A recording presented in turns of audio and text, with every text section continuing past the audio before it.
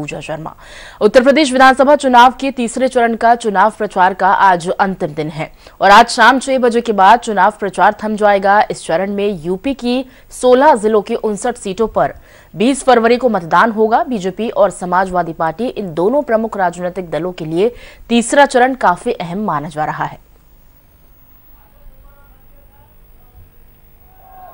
काशी में देव दीपावली और प्रयागराज में भव्य कुंभ और दिव्य कुंभ का आयोजन करने का सौभाग्य भी हम लोगों को प्राप्त होता है। भाइयों बहनों, आप याद करिए, आज ही जब मैं आपके यहाँ सभा में आ रहा था, इससे पहले मैं करहल में, मेनपुरी करहल में मैं वहाँ सभा का आयोजन कर रहा था। और मैं विश्वास के साथ कह सकता हूँ कि करहल में होने वाला चुनाव इस बार समाजवादी पार्टी की जमानत को जब्त करने वाला होगा और भारतीय जनता पार्टी को जिताने वाला होगा। आप अनुमान कर सकते हैं, जो समाजवादी पार्टी का कमांडर ही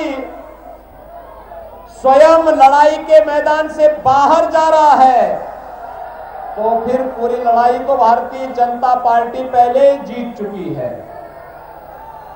याद करिए, पाँच साल पहले क्या स्थिति थी? आस्था के सम्मान के साथ क्या खिलवाड़ होता था? और प्रत्येक नागरिक की सुरक्षा के साथ भी क्या खिलवाड़ होता था? ये किसी से छुपा हुआ नहीं। जब मैं मेनपुरी से कानपुर के लिए प्रस्थान किया तो मुझे बताया गया कि आज अहमदाबाद की न्यायालय ने वहाँ के ब्लास्ट के लिए जिम्मेदार तमाम उन अपराधियों को और आतंकवादियों को मौत की सजा और कड़ी सजा दी है, जिन्होंने कभी अहमदाबाद को दहलाने का कार्य किया था। भाइयों बहनों, सुरक्षा सबको, सम्मान सबको, लेकिन तुष्टिकरण किसी का नहीं यही तो भारतीय जनता पार्टी का मिशन है। और इसी मिशन के साथ हम लोग जब 2017 में यहाँ पर आए थे, उस समय भाइयों बहनों, हमने कुछ कहा था। मैंने तब भी कहा था कि भारतीय जनता पार्टी जो कहती है, सो करके दिखाती है। भारतीय जनता पार्टी जो कहती है, सो करके दिखाती है। हमने कहा था कि रामलला हम आएँगे, मंदिर वहीं। आज अयोध्या में मंदिर निर्माण का काम प्रारंभ हो गया ना। कोई संदेह है क्या? क्या अयोध्या में राम मंदिर का कार्य ये समाजवादी पार्टी, कांग्रेस या बहुजन समाजवादी पार्टी के लोग कर पाते? ये कार्य भी जैसा कहा गया था, उसके अनुरूप कार्य भी समयबद्ध ढंग से आगे बढ़ रहा है। और भाइयों बहनों 2023 के अंत में जब अयोध्या में रामलला के भव्य मंदिर में भगवान राम विराजमान होंगे तो भाइयों बहनों 500 वर्षों याद करिए क्या अयोध्या में राम मंदिर के निर्माण कार्य को क्या समाजवादी पार्टी करा देगी? राम भक्तों पर गोली चलाने वाले लोग राम मंदिर का निर्माण कराएँगे। राम मंदिर पर ताला मारने वाले लोग क्या राम मंदिर का निर्माण कराएँगे? और इसीलिए भारतीय जनता पार्टी आपके पास आई है कि हमने जो कहा, सो करके दिखाया है। भाइयों बहनों, पाँच साल पहले प्रदेश की स्थिति क्या थी? हर तीसरे दिन एक दंगा होता था। कर्फ्यू लगता था। जगह जगह अराजकता फैलती थी। और प्रदेश में न पर्व और त्योहार ठीक ढंग से मनाए जा सकते थे। न बहन बेटियाँ सुरक्षित थी। और विकास के कार्यों में किस कदर डकैती पड़ती थी, यह किसी से छुपा हुआ नहीं है। गरीब कल्याणकारी योजनाओं में किस कदर लूट मस्ती थी ये किसी को किसी का पता नहीं। भाइयों बहनों, पाँच साल के बाद जब हम लोग अपना रिपोर्ट कार्ड लेकर के इस चुनाव में आपके पास आए हैं, मैं आपसे पूछना चाहता हूँ, क्या पाँच साल पहले आपको अनवरत और निर्वाध बिजली मिल पाती थी क्या? पाँच साल पहले पहले मिलती थी क्या? आज तो मिल रही होगी ना। कोई कटौती नहीं होती होगी ना। वर्तमान में पूरी दुनिया कोरोना महामारी की चपेट में है। भाइयों, बहनों, कोरोना के कारण दुनिया के अंदर लाखों लोगों की मौत हुई है। भारत के अंदर कोरोना से बचाव के लिए प्रधानमंत्री मोदी जी के नेतृत्व में जीवन को बचाने और जीविका को बचाने का भी कार्य हुआ है। और कानपुर से ज़्यादा इसको कौन देख सकता है? कि भाइयों, बहनों, कानपुर में तो कोरोना के कारण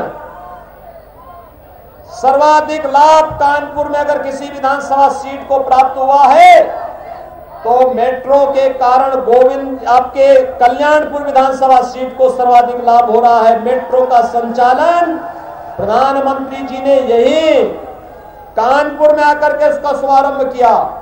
कोरोना भी कानपुर मेट्रो की रफ्तार को थाम नहीं पाया था। हमने जीवन को ही बचाया, जीविका को बचाने का काम भी किया, और हम लोगों ने पूरे प्रदेश के अंदर फ्री में टेस्ट, फ्री में उपचार, फ्री में वैक्सीन, कितने लोगों ने वैक्सीन ली है? पीछे तक जिन लोगों ने वैक्सीन ली है, क्या आप लोग ले चुके हैं? उस पार सभी लोगों ने वैक्सीन ले ली है। वैक्सीन का कोई पैसा तो नहीं मांगा किसी ने? वैक्सीन फ्री है ना? और वैक्सीन का प्रभाव क्या है मालूम है? तीसरी वेब कब आई, कब चली गई कोई पता नहीं लगा। तीसरी वेब को हम कंट्रोल कर लिए हैं। भाइयों बहनों, कोरोना प्रबंधन का जो मॉडल उत्तर प्रदेश ने दुनिया के सामने दिया है, उसकी सर्वत्र सराहना हुई है। यह आपके आशीर्वाद से हुआ है।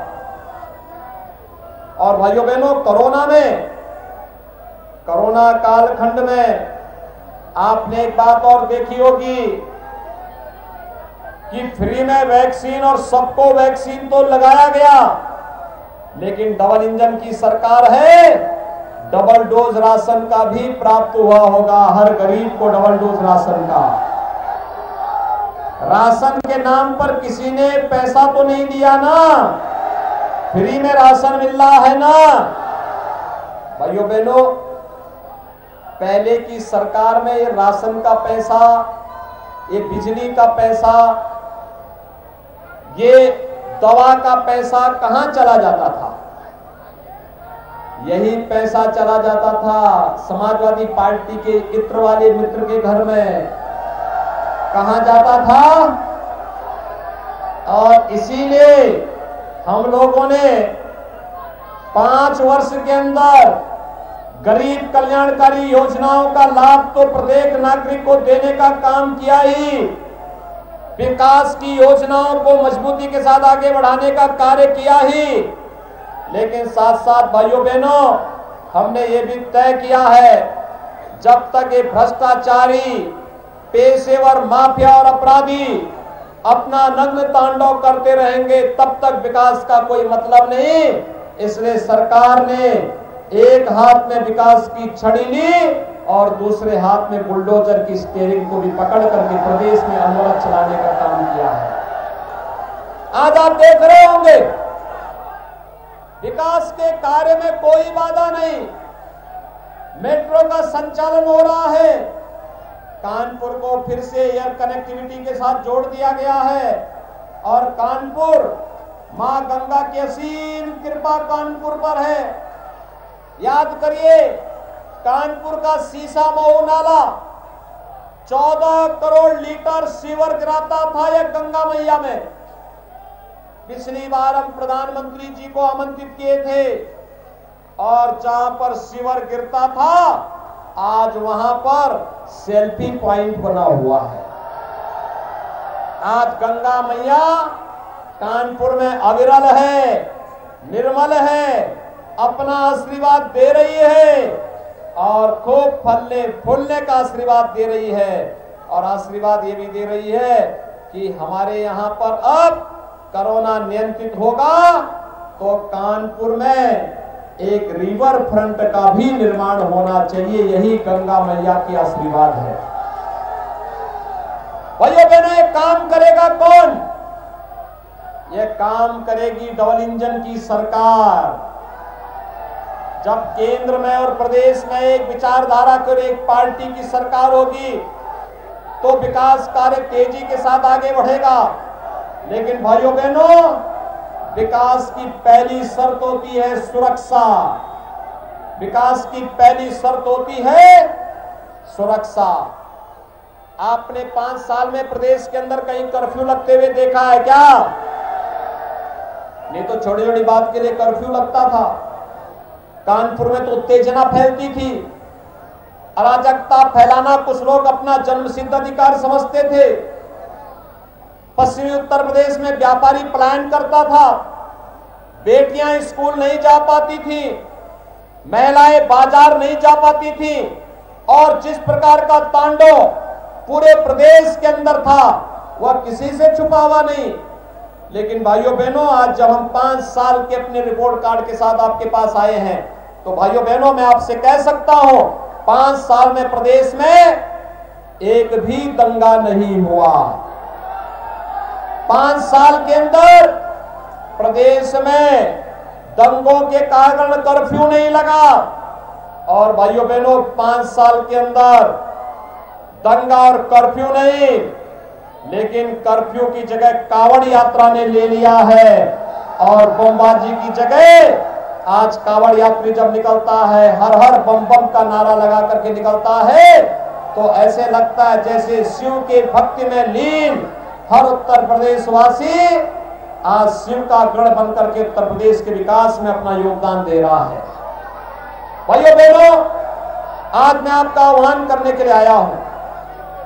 याद करिए, समाजवादी पार्टी की सरकार पाँच साल तक थी। पाँच साल में इन्होंने अठारह हज़ार गरीबों को भी मकान नहीं दिया और भारतीय जनता पार्टी की डबल इंजन की सरकार ने पाँच साल में तैतालीस लाख पचास हज़ार गरीबों को एक एक आवास उपलब्ध कराया है। दो करोड़ इकसठ लाख गरीबों को एक एक शौचालय उपलब्ध करवाया है। पर्याप्त बिजली, सबको बिजली और निर्बाध बिजली के लक्ष्य को प्राप्त किया है। आज प्रदेश एक्सप्रेसवे बन रहा है। याद करिए लखनऊ और कानपुर के बीच भी एक नया ग्रीन फ़ील्ड एक्सप्रेसवे बन रहा है।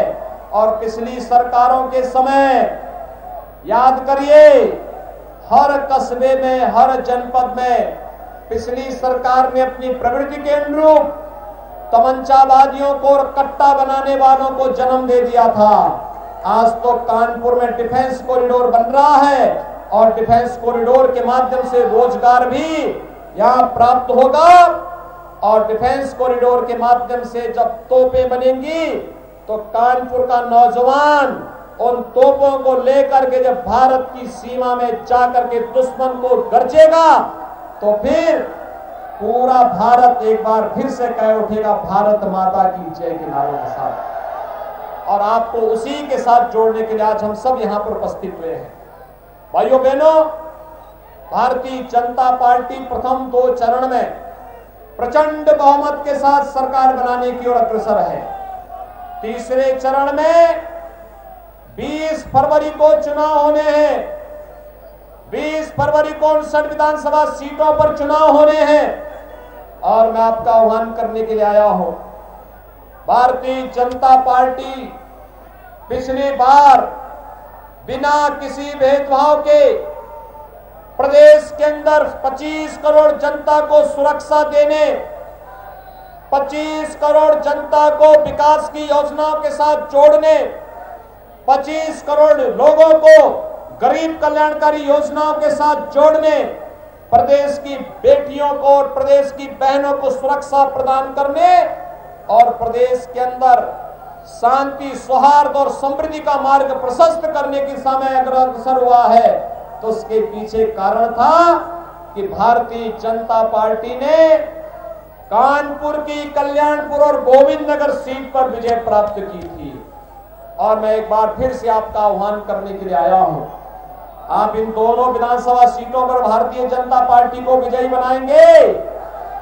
सभी लोग सहमत हैं? याद करना मुजफ्फरनगर के दंगों के लिए जिम्मेदार व्यक्ति समाजवादी पार्टी के प्रत्याशी बनकर के एक बार फिर आपके बीच आए हैं। देखो, हमने तो अपना काम किया। जिन लोगों ने मुजफ्फरनगर के दंगाइयों का सपोर्ट किया था, सरकार ने अपना काम किया उनके लिए। अब बारी आपकी है कि जो लोग दंगा करवा करके प्रदेश में विकास में बाधक बनते थे, अराजकता पैदा करते थे, उन्हें क्लीन चिट देते थे, उन लोगों को दोबारा विधानसभा में जाने का अवसर कतई मत दीजिएगा। आप सभी सहमत हैं? सभी लोग सहमत हैं? उस पार भी, उस पार भी, और सड़क के इस पार भी। भाइयों बहनों, दोनों हाथ ला करके मेरे साथ बोलेंगे। दोनों हाथ उठा करके जहाँ तक मेरी आवाज़ जा रही है, उस पार के लोग भी दोनों हाथ ला करके दोनों हाथ ला करके बोलेंगे, भारत माता की, भारत माता की, भारत माता की।